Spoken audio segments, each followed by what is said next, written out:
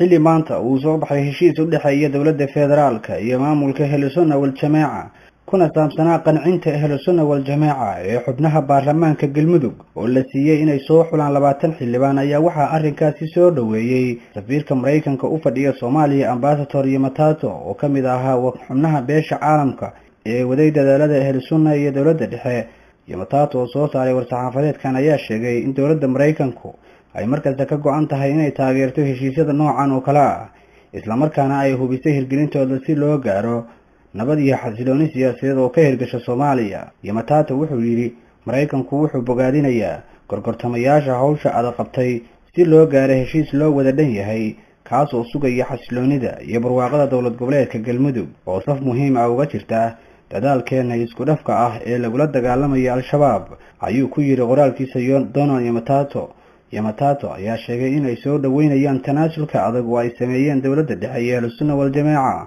ee ku saabsan qaabka doorashada qeybsiga xubnaha baarlamaanka galmudug. Waxaan aqoonsanahay dadaalada dib u heshiisiinta ee ka jira dalka oo dhan ee ku saabsan qaabka doorashada iyo qeybsiga wakiilada baarlamaanka. Waxaana dhiirigelinaynaa hirgelinta heshiiskan ayuu yidhi donald yomatato yomatato ayaa ugu dambeyntii xusay in dowladda maraykanku ay ka go-an tahay inay fududeyso gargaarka bini-aadanimo iyo kaalmada abni iyo horumarka dhaqaale ee dadka reer galmudug maadaama uu sheegay in ay gobolkaasi yahay mid muhiima oo mustaqbalka soomaaliya. Hadalkan ka soo baxay donald yomatato ayaa ku soo aadayay xilli ay dowladda soomaaliya ee sunna heshiis ka gaareen khilaafkii ka taagnaa doorashada galmudug iyadoo ahlu sunna loo ogolaaday inay soo xulaan labaatan xildhibaan oo ka mid noqonaya siddeetan iyo sagaalka xildhibaan ee ay leedahay galmudug. Dhinaca kale madaxa xukuumadda galmudug sheekh shaakir ayaa isna soo dhoweeyey heshiiska ahlusunna waljamaaca